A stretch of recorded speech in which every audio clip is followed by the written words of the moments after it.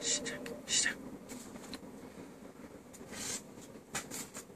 WSG 7-100 파인 그라인더 신제품 설명드리겠습니다.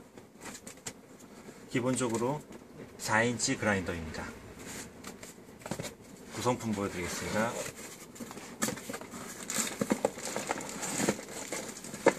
본체, 안전판, 손잡이, 렌치, 그리고 추가 카본 브러쉬까지 들어있습니다. 그리고 매뉴얼 들어가 있고요.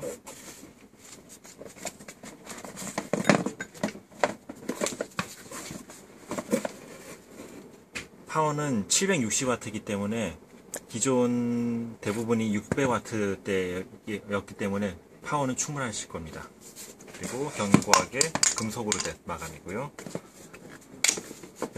스위치는 안전 스위치입니다. 한번 작동시켜 보겠습니다.